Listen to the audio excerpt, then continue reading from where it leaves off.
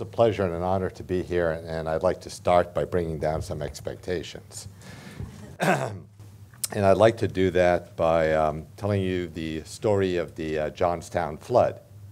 Uh, do all of you know the Johnstown flood story? No. Okay. So um, uh, it turns out uh, there was a fellow who uh, died. He was from Johnstown, Pennsylvania and he came to the gates of St. Peter, and St. Peter said, well, it's customary to give a seminar for new arrivals. And, um, you know, we try to talk about an eventful moment in our lives. So a fellow said, oh, that's terrific. I survived the John Johnstown flood, and the Johnstown flood in Pennsylvania was an extraordinary event, and I, with my wits and my cleverness, managed to survive it. So St. Peter said, well, that's, that's very good, but remember, Noah's in the audience.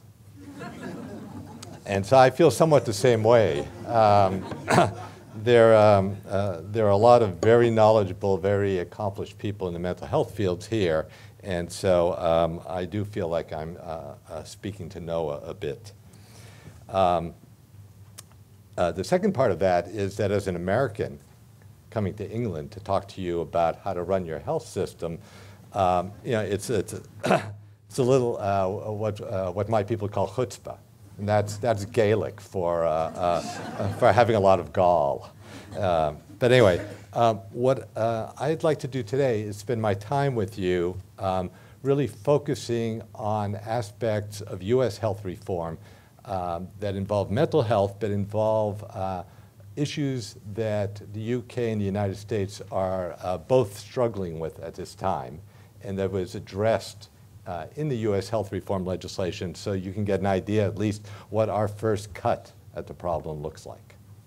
And uh, what I'm going to do that, uh, how I'm going to do that is I'm going to first quickly give you some background on U.S. Uh, health reform and then get to the heart of the matter, which is first to talk about uh, efforts to integrate uh, mental health and general medical services, and in some cases other services, and then to turn to what uh, um, we've already no noted is prevention and early intervention.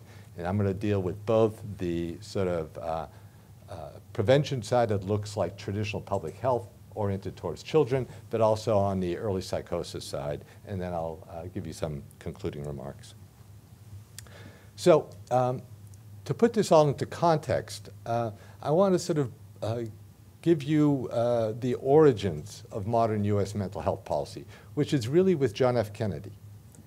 And in February of 1963, just 50 years ago, uh, John Kennedy, uh, in a speech uh, where he set out his intention to introduce legislation that eventually became the Community Mental Health Act, um, set out a to-do list for American society to advance his vision of mental health and what a good mental health policy is. And uh, in that, he called for a policy of inclusion. Uh, he called for a reorientation towards prevention of mental illnesses. Um, he talked about uh, uh finding ways to uh, provide early diagnoses of mental disorders and to, depending on what the needs were, to offer continuous and comprehensive care for those problems. He called for a, uh, uh, a movement towards improving the quality of care in all settings, but at the same time to reorient our uh, delivery system towards community-based treatment and to reduce uh, the heavy reliance at the time on institutional care. And then he, um, he, did, he called for a uh, revitalization and a restoration which I think very much is what we call recovery today. And he viewed that in the context of building community capacity to make all this happen, so that there would be capacity in communities to support people who are in recovery. And what is striking about that is, uh, well, are two things. First, that it was an extraordinarily modern view. It is so much the same of what we are trying to accomplish today, at least in the United States, and at least from my uh, last few days here and previous visits, it seems to be very aligned with what you're trying to accomplish here in the UK. Um, what's also remarkable um, uh, about it is that it remains our de facto policy today. It is uh, um, uh, trotted out almost every time that there's a national gathering. So when President Carter had his commission, when President Bush had his commission, when President Clinton had his national conference on mental health, each time we begin with this kind of um, to-do list. So let me now turn to um, U.S. health reform, which really sits on three cornerstones. Uh, the first is uh, expansion of public insurance. And you have to re remember uh, that fundamentally we had a problem that you people probably have trouble understanding. We had 50 million uninsured people in 2009. And our aim and what will hopefully result uh, starting in 2014 with, is that we will bring down that number to under 19 million uh, just in, few, in the next few years. And so that is a dramatic shift in U.S. policy, but it's something that's very foreign to you here. But two parts of the health reform. One, expansion of public programs to support public health insurance and to change the structure and the conduct of private health insurance markets and to provide subsidies for people who are somewhat better off so that they can buy private health insurance in these newly designed markets. So those were uh, two of the three cornerstones. The third cornerstone is what we call delivery system reform, and really that is going to be the focus of my remarks tonight. So, um, delivery system reform, uh, as I talk about it tonight, uh, is going to involve integration and early intervention and prevention. Uh, but before I get to the details of how that applies in mental health, what I want to do is quickly give you the philosophy that sits behind that. And again, this is a case of the United States becoming more like uh, Britain, uh, perhaps at a time when you're trying to become more like us. Um, and that is increasingly, the philosophy in the United States is that we must bring more of our healthcare dollars, more of our resources together under budgets handed off to clinical organizations that have the capacity to integrate and coordinate care under a budget and to do so um, uh, in a fashion that puts particular emphasis on managing complex care for vulnerable populations. And this seems to be well understood here, but it's new to us. The approach that we take in the United States is um, deliberately somewhat modest because, in fact, it admits that we don't exactly know what will work. We have lots of ideas and we're placing what I consider to be smart bets, but we're not sure what will scale best under what circumstances. And when you have a country as big and diverse as the United States, you have to allow some leeway to learn. And so what uh, you see in our Affordable Care Act is a variety of options for scaling up uh, the uh, construction of these new organizations under budgets and a, um, a, set of opportunities to quickly learn, adjust, and move on. And it is really with that in mind that uh, delivery system reform is proceeding. And with that comes political risks, because as you can imagine, uh, the United States uh, is no more uh, tolerant of failure than probably the British Parliament is. Uh, and so uh, when you uh, consciously go out there and try a lot of things, some of them will fail. And that puts pressure on. So let me now turn to integration uh, of mental health and general medical care.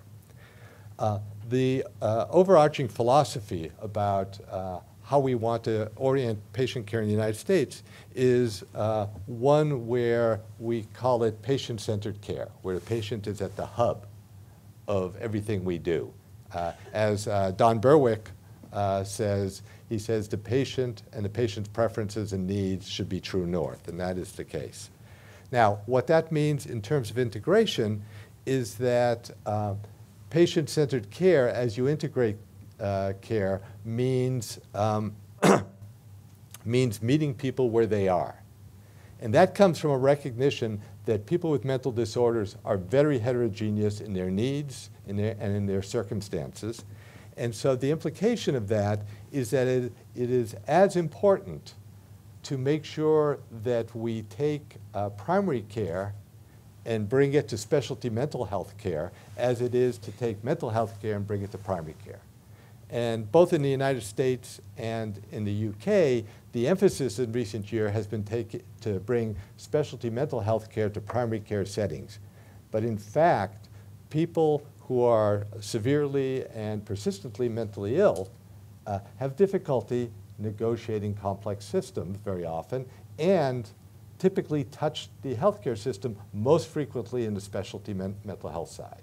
And so for that reason, uh, we want to make accommodations so that they can get the health care that they need in, that, in their natural context uh, for getting treatment. So what do we know about making integration work?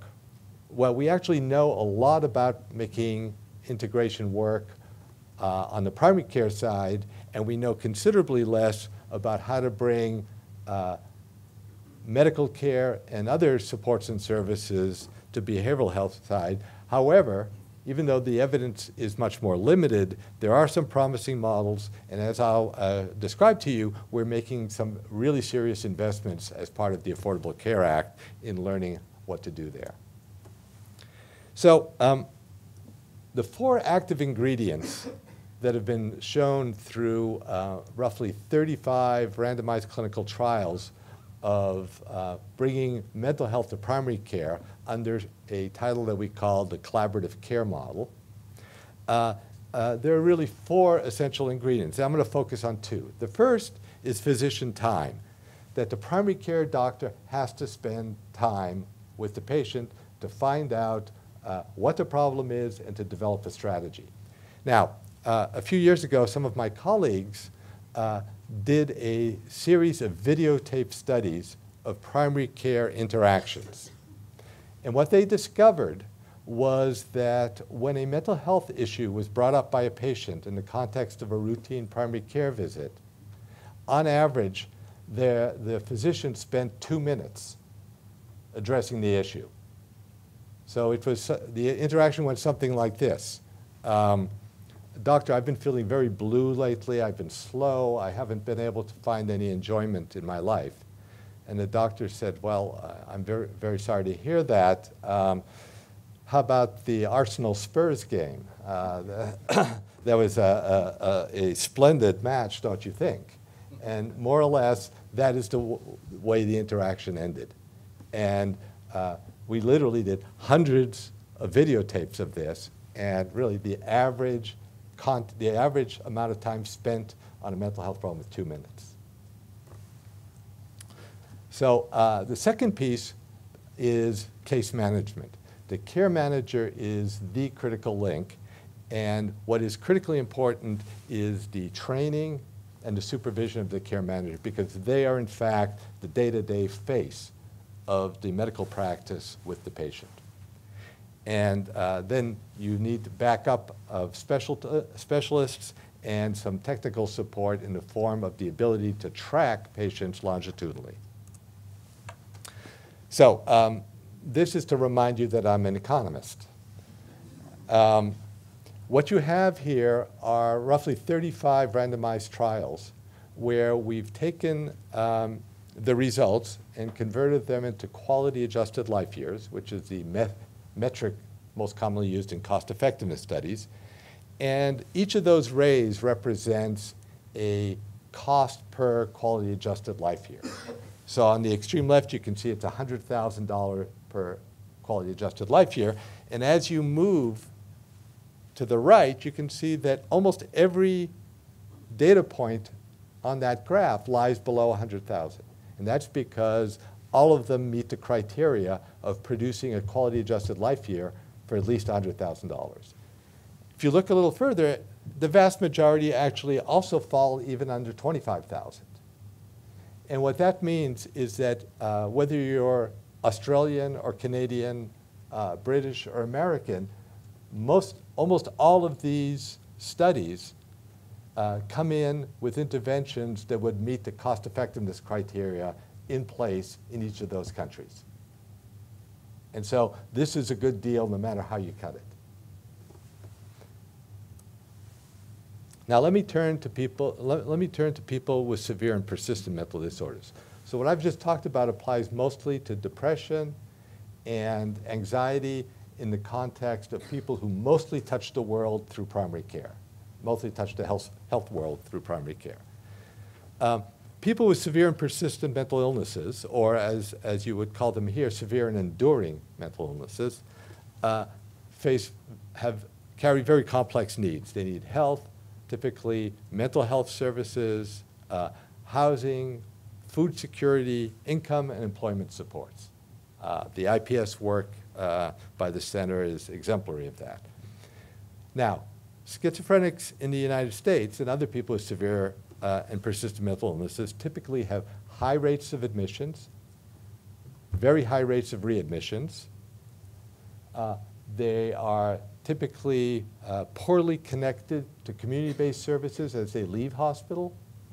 And uh, because about two-thirds of them carry significant chronic medical conditions, it turns out only about half of them get treated for those. So imagine a schizophrenic with diabetes or schizophrenic with congestive heart failure. Less than half get treated for those conditions in a year explicitly. So the remedy that's been emerging is um, to create a um, team-based approach to managing care. It's a multidisciplinary team, uh, typically led by a uh, medical professional, either a uh, physician or a nurse, and typically includes a care manager, sometimes a peer counselor, uh, other times a community health worker, supported by the capacity for mobile treatment, and again, information technology so that people can be tracked longitudinally, but also to be able to see how they are touching other parts of the system. Are they touching the income support agency? Are they touching the housing agency? And being able to immediately connect to see if that's uh, occurring. Uh, this is uh, early in its life, but this is the model that has been em emerging as uh, the one that is um, our best bet. Now, the lessons for these organizations uh, are that when you craft an organization to do these things um, uh, and put all those pieces together, they can produce some uh, very nice results. Uh, Washington State has organized to have a private nonprofit organization that organizes that whole variety of services, takes responsibility under a fixed budget where uh, they are rewarded for, for obtaining savings and they're rewarded on the basis of the quality of the outcomes they produce. When that was implemented, it took about two or three years to ramp up. And today we're seeing savings on the order of 13% a year uh, on historical costs and improves quality. Likewise, the Aetna Health Insurance Company has taken responsibility in the state of Pennsylvania for doing something similar. And they've yielded savings of about 10% and also have yielded improved out outcomes. Uh, a completely public clinic uh, called the Cherokee Health System has managed to do something uh, quite similar. At the same time, there have been a large number of failed attempts. And really, we're at a point now where we're starting to conduct policy autopsies. And we're doing it because we need to understand the conditions that produce failure. Uh, we've got an inkling of what produces success, but we also need to know what produces failure. And so we're starting to do those. Now, the economic circumstances that make this work are to have a budgeted health system that unite all the uh, disparate strands of funding. Uh, two, uh, that allow enough managerial flexibility so that resources can be matched to patient needs flexibly, and where, uh, when there are savings, uh, the organization gets to share in the savings, and when there are um, losses, the organization also is responsible for at least a share of the losses. Now, what has the United States been doing? What does the Affordable Care Act say about how we accomplish this? Uh, there are four parts to the strategy. The first is we're creating new institutions and payment arrangements to promote this. The second is we're measuring what we do differently. We're holding people accountable to a different set of measures than we historically have. Uh, we're creating new grant programs so that we can uh, um, support innovations and quickly um, uh, evaluate them, report back, and adjust. And then finally, we are training professionals to do uh, a better job in primary care. Let me quickly tell you about a few of these. Health homes are organizations that focus on the most severely ill uh, people. Uh, they require coordination and integration. Not only must you pull together medical care and, uh, and mental health care, you must also attend to housing, income support, and food security. Um, the federal government pays for 90% of the coordination activities. So care managers, mobile treatment, and health information technology systems are 90% paid for for two years of setup uh, by the federal government, and then after that, they, they must be self-sustaining. Uh, the corresponding uh, new organization, new institution uh, for the more common mental disorders is the patient-centered medical home. Uh, here we have, uh, these are much more primary care oriented, and they must meet certain standards in order to qualify for reimbursement as one of these comprehensive patient-centered medical homes.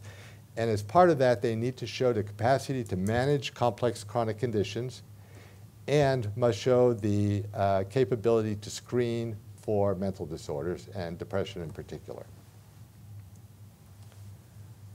Second, we, are trying to shift the way we measure and hold people accountable.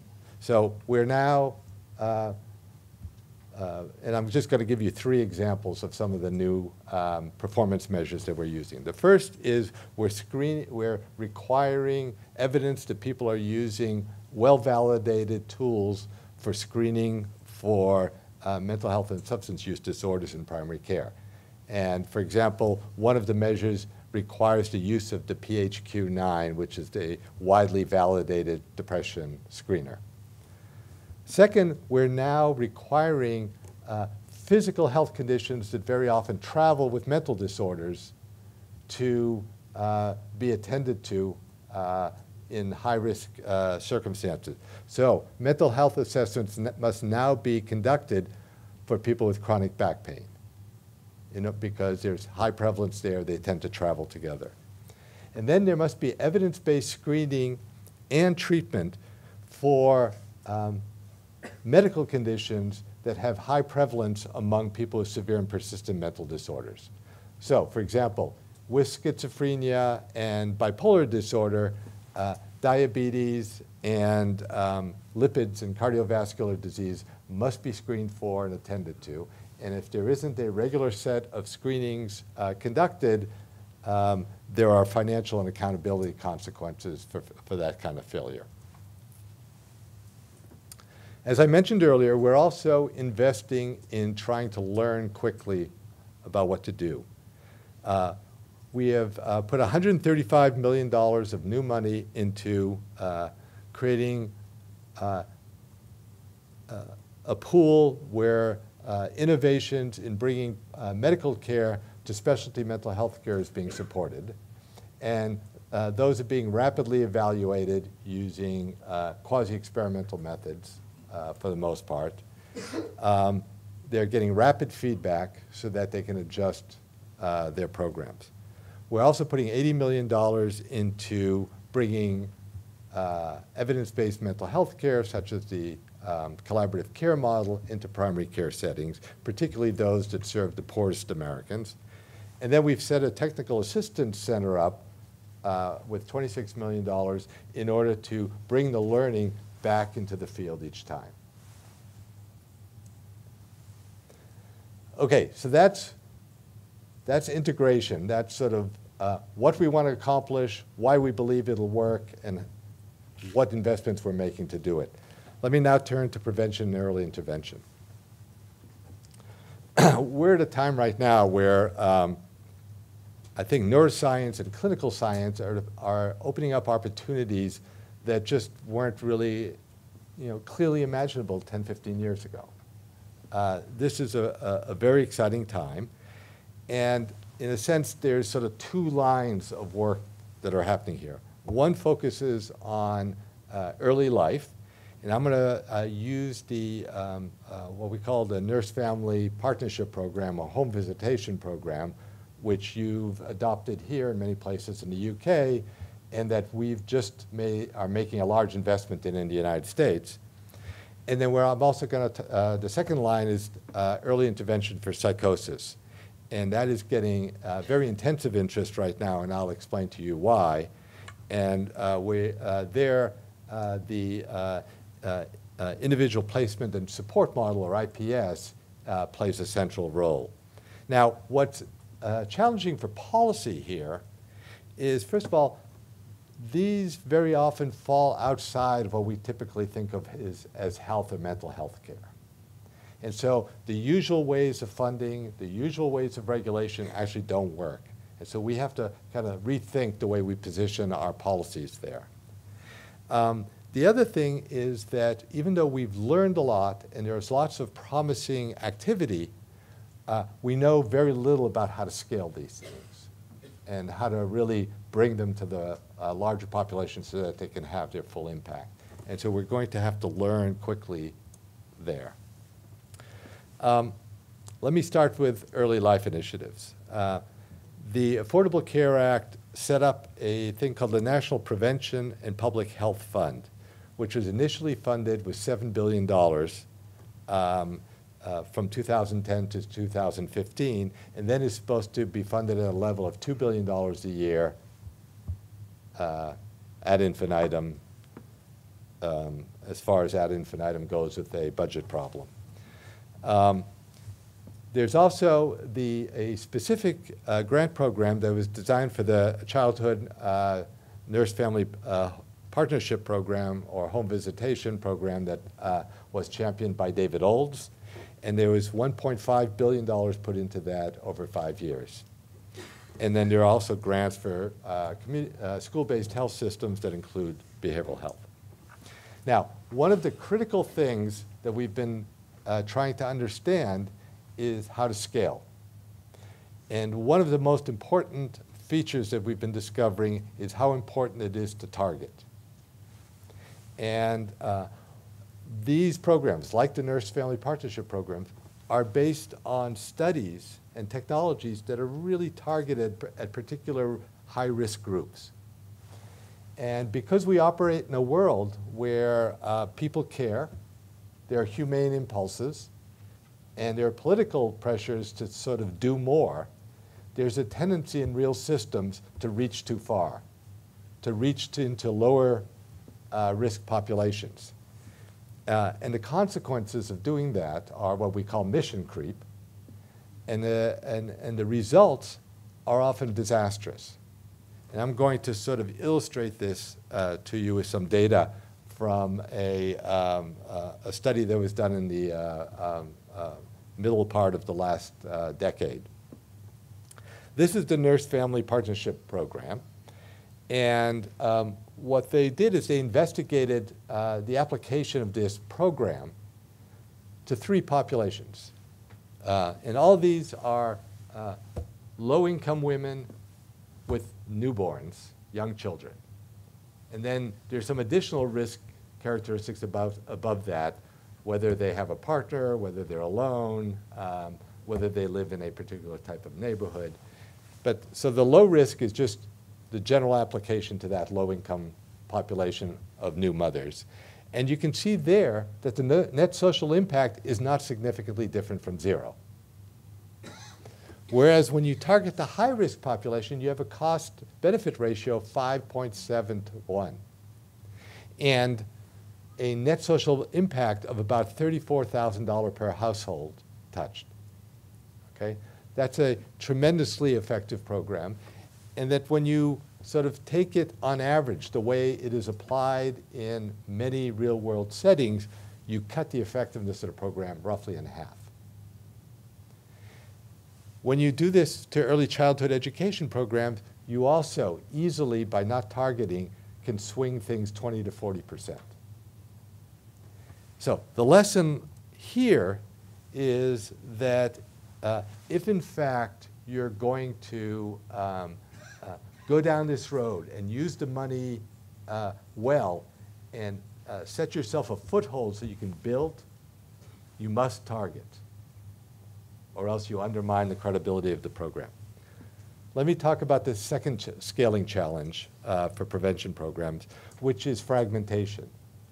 Uh, most public health and human service programs are delivered in the context of multiple funding streams, many parts of the bureaucracy having their fingers on it, and then sometimes arbitrarily assigning certain parts of the bureaucracy to lead a program.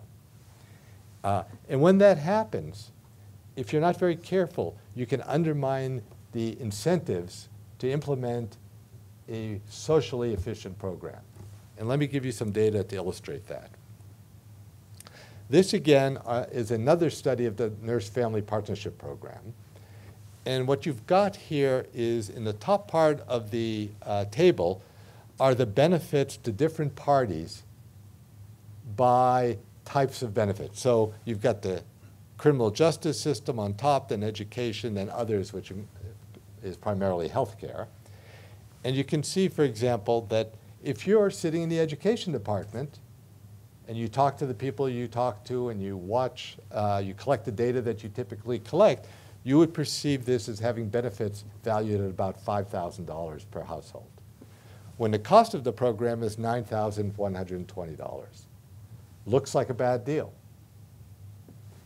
But the social benefit cost here is $27,200 over 9,000.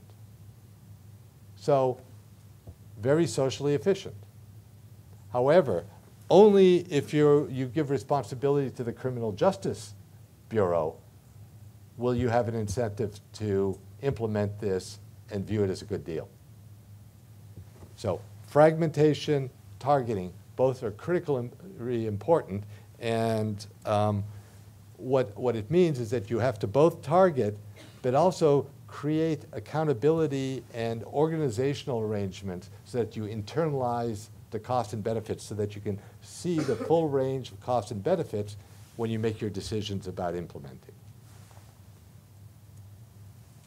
Okay, let me now turn to early interventions. And um, uh, here, this is uh, typical of uh, what we call the alphabet soup of U.S. healthcare. Uh, but the top panel of this table shows you um, the amount, the number of people and the amount of money we spend on supporting people with mental illnesses uh, through income support programs and disability programs. So SSI is a disability program, SSDI is a disability program, and TANF is a program for low-income mothers. Okay? What you see is of the roughly 330 billion, one third of a trillion dollars that we spend a year on supporting people with mental illnesses in the United States, um, roughly um, uh, roughly 20% of it involves treatment. That's that $65.6 billion. The rest of it involves things like income support. 200 billion of that number right? Roughly two-thirds of it is for income support.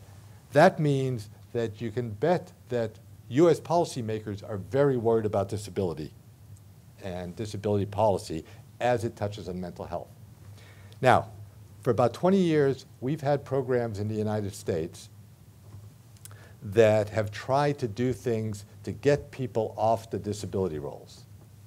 Uh, we've tried something called the Ticket to Work program, we've called, tried something called a mental health treatment study, which used the IPS model plus evidence-based psychopharmacology and psychosocial treatments to try to get people off of the disability rolls, back to work. And the results have been extraordinarily disappointing. Um, what we've recently started to do is to explore the possibility of rather than trying to open the back door, is to do something about the front door. And that is, can we do something to intervene early to keep people off the rolls? And there are sort of some promising things. But just to remind you, in the US right now, our Social Security Disability Insurance Program is in negative cash flow and is slated to run out of money in 2016. So this is serious. And the two largest um, groups making new claims on that program are people with musculoskeletal problems and people with severe mental disorders. So you can imagine that there's some serious pressure on the mental health field to come up with some solutions. So we ask ourselves three policy qu questions in pursuing this. One is, are there enough people on the margins that if we have something good to give them, we can keep them off the rolls? Are there, good can are there enough good candidates to keep people off the rolls? Second question, are there enough are there interventions that are promising enough so that if there are enough people there, we have a chance of affecting them? And then third, can we align incentives to make the relevant organizations take up the right programs and target the right people? So the answer to the first is yes. If you talk to people who are applying for disability, if you talk to people who are on disability, they say overwhelmingly they want to work. Second is that there's an extraordinary amount of idiosyncratic reasons that people either are on or off disability. Sometimes it's who your examiner is. Sometimes it's where you live. Sometimes it's the color of your skin. And therefore, there is a suggestion that there's room to influence where you wind up. And then there's some, uh, there's some evidence from what we call the um, uh, duration of untreated psychosis that suggests that we can uh, do better. So what are the effective interventions? Well, individual placement and support um, has been established as the most effective method for people uh, for uh, helping people with severe and persistent mental illnesses to regain some work activity.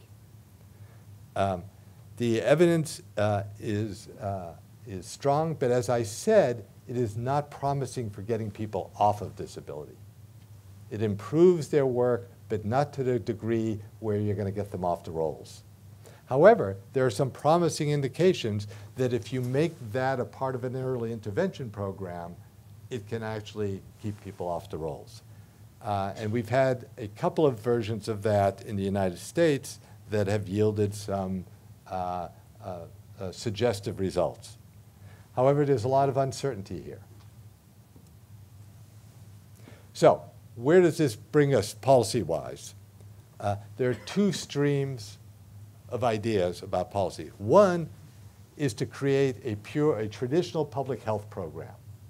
That is, uh, develop a program that finds a mechanism to identify people at their first episode of psychosis, provide money that is separate from disability programs or low income programs so that you can bring treatment to people before they're disabled, while they're still in the workforce, while they're still attached possibly to their schools.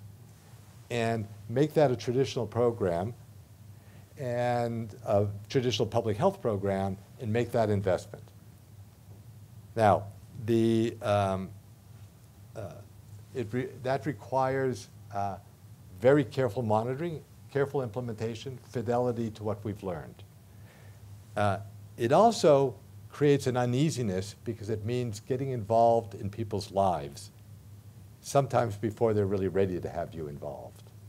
And in, the, in, in Britain, uh, I think there's generally a little bit more comfort with government mucking in people's lives. In the United States, uh, it's a very unhappy debate that you have when you start going down that route. Uh, but nevertheless, it is probably some version of that needs to be done if you're going to be successful here. The second line of policy has to do with creating incentives for interested parties. And I'm going to just mention two ideas. One is employers in the United States all play, pay for disability insurance. So the idea is to say to an employer, we will, if you put in best practices. If you put in a prevention program that is evidence-based, um, we will give you a break on your um, disability insurance tax. And we will start to experience rate you based on your success. And so rather than everybody paying the average, uh, we would experience rate, and so people who performed better uh, would do better financially. That's one idea. And that, what that does is it creates an incentives for the field out there to adopt the things that work. The second is to do something similar for the states, which is to say to states, if you adopt, we will, we will provide money to provide short-term income support and to provide uh, public health outreach to these populations for treatment, for early intervention, and we will give you bonuses if there's a change in the population prevalence of disability in your state.